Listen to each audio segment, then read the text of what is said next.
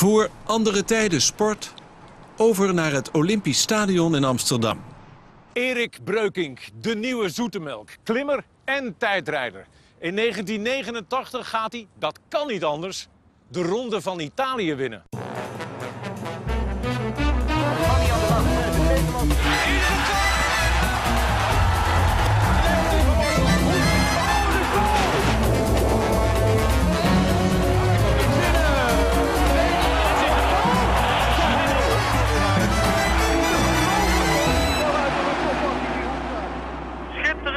Hier in de Ronde van Italië. Dat is koersen. En ik zeg u nog maar eens dat deze jongeman pas 23 jaar is en dat hij dit al kan. Breukink was echt het grootste talent van zijn generatie. Wereldtop die nooit echt is bevestigd. Fysiek gesproken was het een ronderenner. Hij beheerste de tijdritten en hij beheerste het klimwerk. Dus eh, ja, wat wil je nog meer? Hè? En hier Erik Breukink. Opnieuw er vandoor gegaan. Johan van der Velde probeert eh, zijn landgenoot te achterhalen. Ah, maar Erik was typisch ronderen. Dat was toen de nieuwe zoete, zoetemelk die in Nederland geboren was. Goedenavond. Tom Dumoulin is de eerste Nederlandse winnaar van de Ronde van Italië. Eind jaren 80 van de vorige eeuw lijkt een andere Nederlander wielergeschiedenis te schrijven in Italië. Breukink. Erik Breukink. Drie jaar lang hoort hij bij de allerbesten in de Giro. In 1987 is hij derde, in 88 tweede en in 89, negen jaar na Joop Zoetemelk in de Tour de France, gaat een Nederlander weer een grote ronde winnen. Daar twijfelt niemand aan. Breukink rijdt dat jaar dagenlang in de roze leiderstrui. Hij heerst in de bergen. Hij domineert de tijdritten. Nederland raakt in de ban van de Giro.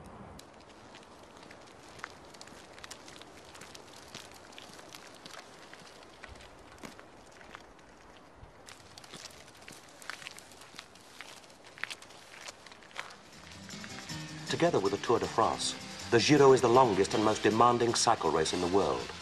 One of the last ultimate endeavors of our time. One of the toughest trials in sport. Ja, dit zijn van die films, eh, ik denk dat ik een jaar of 14 was. Die- heb ik wel eh, meerdere keren gewoon gekeken, omdat het zo indrukwekkend is. eh. ja, dan zie je het hele gevecht eh, met Merckx, eh, was natuurlijk die tijd, was de man. Altijd met nummer 1. En ja, als klein jochie eh, was het prachtig om te zien.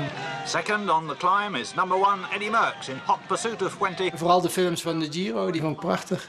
Duels met Merckx, Fuente, dat soort mannen. En de atmosfeer van de Giro en eh die roze trui, dat is wel iets, eh, iets heel magisch heeft dat.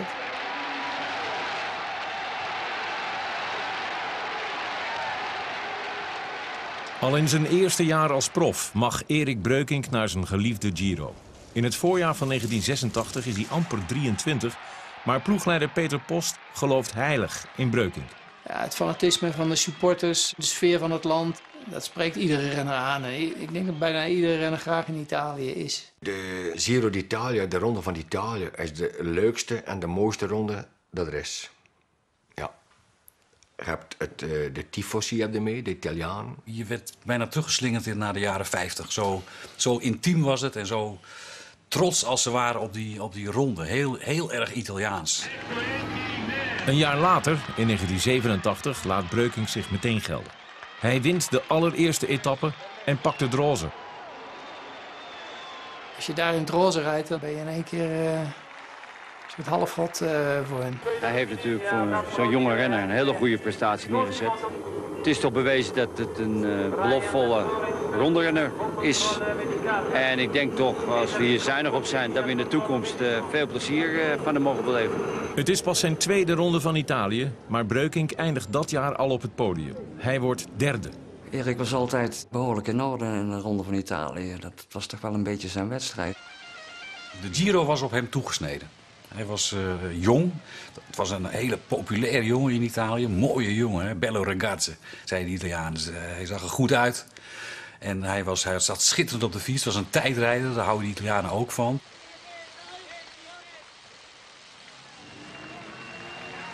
In 88 kwam ik weer terug. En toen was echt wel de druk erop van... eh, dan gaan we nu die derde plek proberen te verbeteren. En eh, we gaan kijken hoe ver, eh, hoe ver kunnen we hier komen.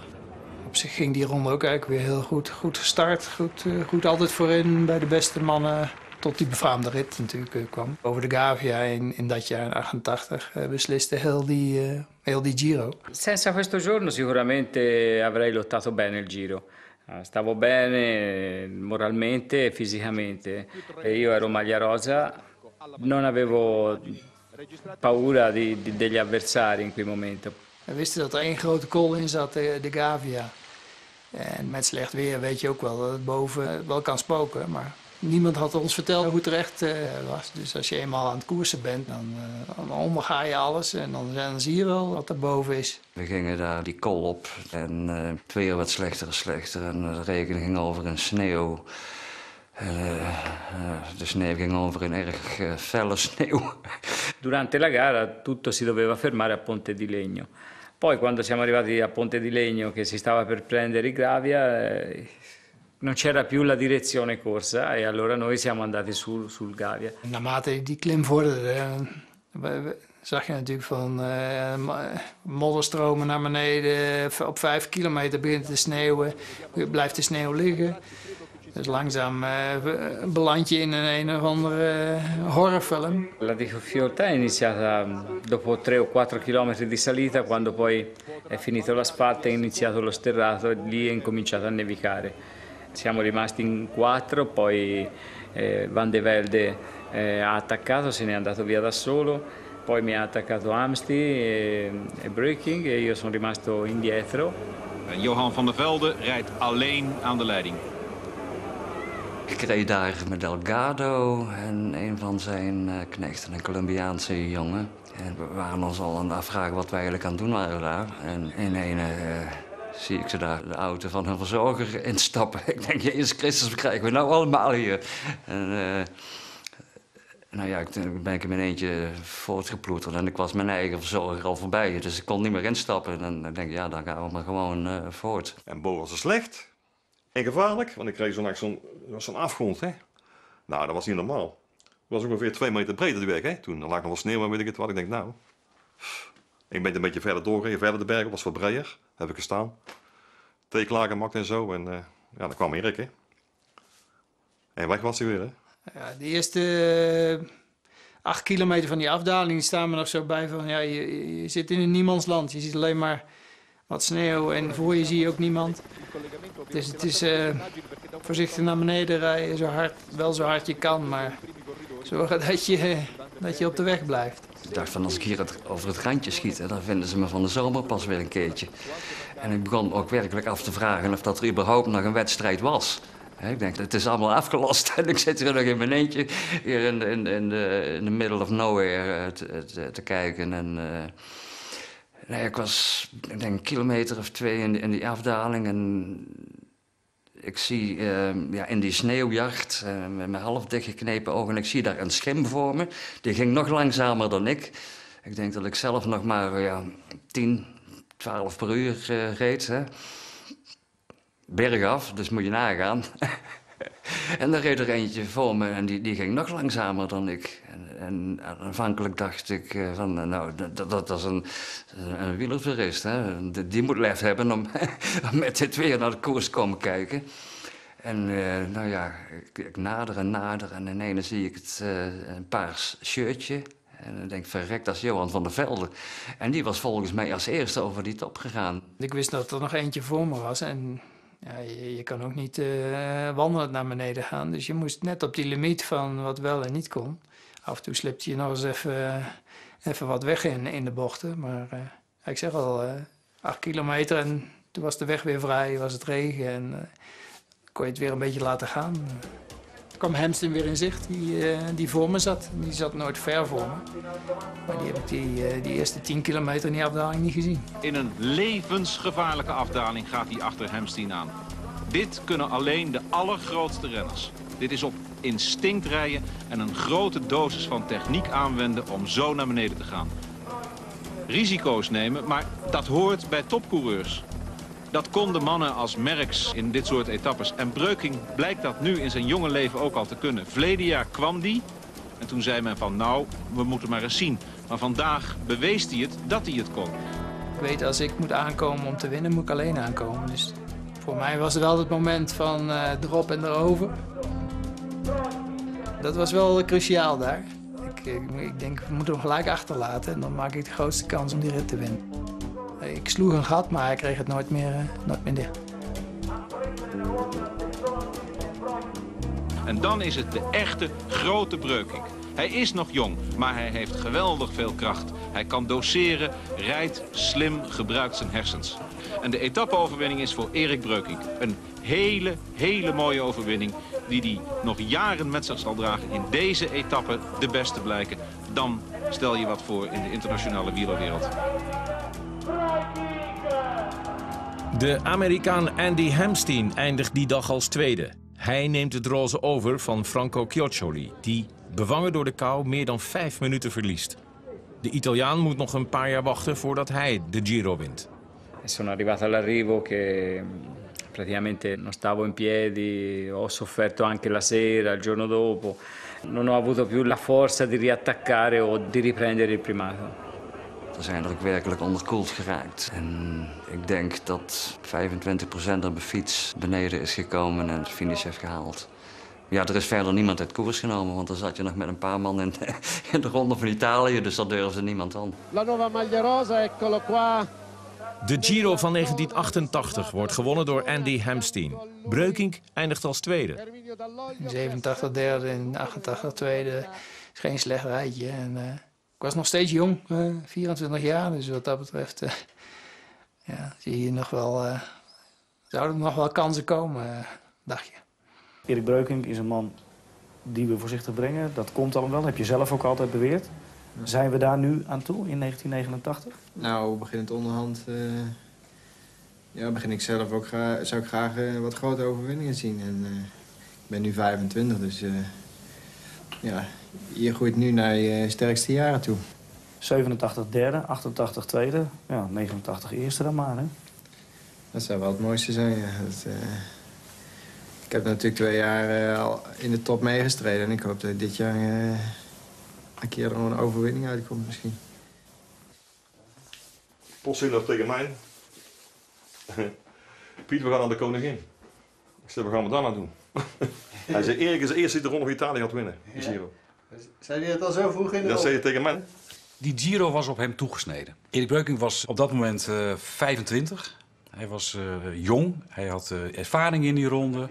En die, die Giro had tijdritten. En sloot ook af met een tijdrit. Dus mocht er nog iets fout gaan in die bergen, dan zou hij dat daar uh, kunnen goedmaken. Dus dat was eigenlijk voor mij uh, wel duidelijk van... Ja, als er één favoriet is in deze ronde, dan uh, is het Erik Breukink.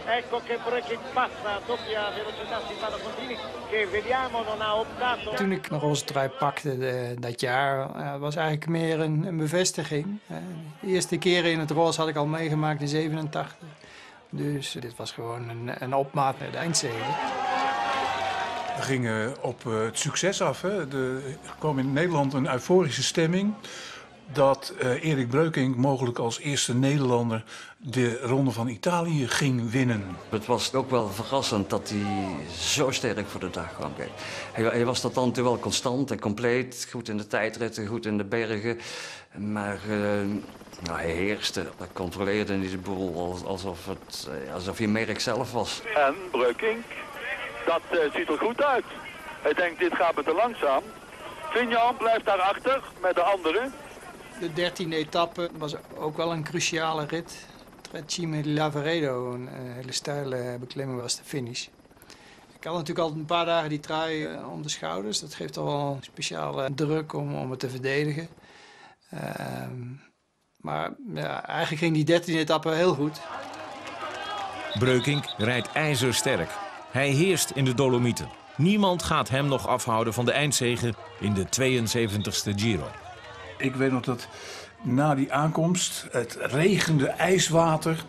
Erik Breukink daar ongemakkelijk op zijn schoentjes, hobbelend tegen een verzorger riep... Een uh, uh, droge trui, godverdomme! Uh, Erik, die, die liep te schelden. Die kende als een hele keurige jongen uit Spankeren.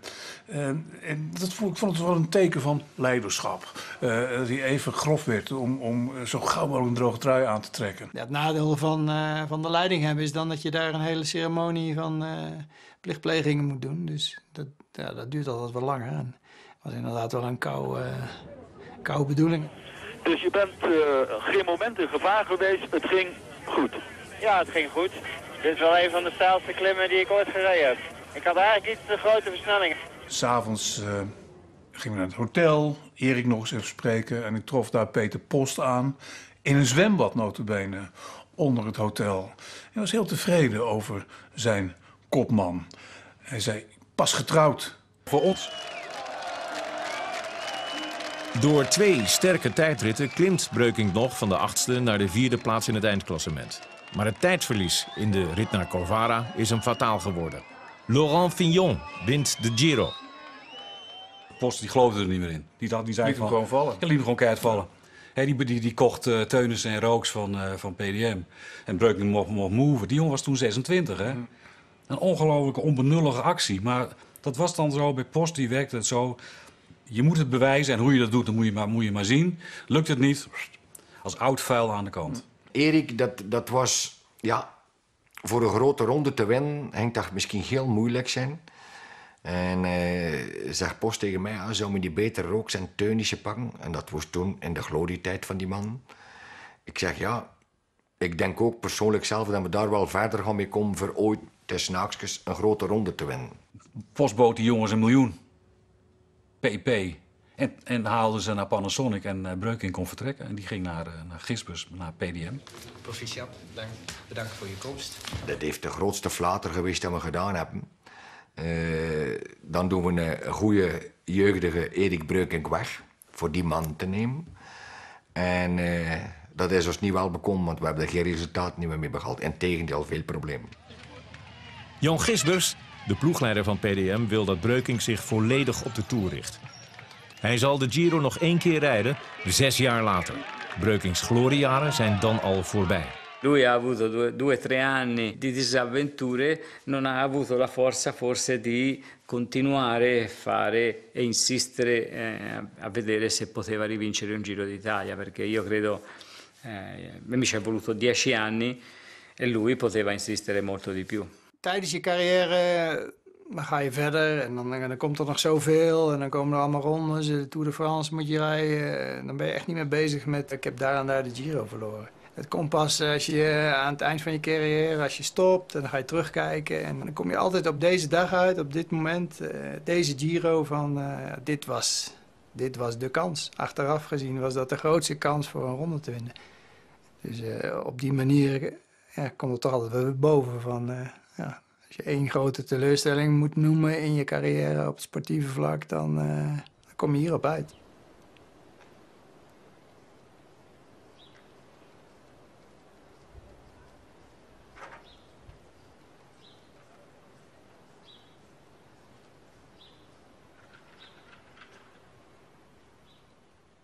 Erik Breukink. Het gele regenjasje, symbool voor zijn totale ineenstorting, verbrandt hij nog datzelfde jaar in zijn achtertuin. Volgende week zondag de wraak van Aad de Mos over Ajax, KV Mechelen en de vrouw van Piet den Boer. Andere tijden sport, zelfde tijd, zelfde zender. Wordt het de wraak van Aad de Mos, die als zoveel andere trainers bij Ajax voortijdig werd weggestuurd. Het is natuurlijk wel leuk om te zeggen van, hé, uh, hey, toedeloe, uh, grote Ajax en zeker voor Aad natuurlijk. Geweldig moment voor hem in zijn leven, denk ik. Dan denk ik direct terug aan Arnhemse Bartels van Nijden en dan uh, doe ik dat in, in een sprong. En de Bos heeft zijn gram. Dit was natuurlijk ja, voor hem een mooi sprookje dat er gebeurde.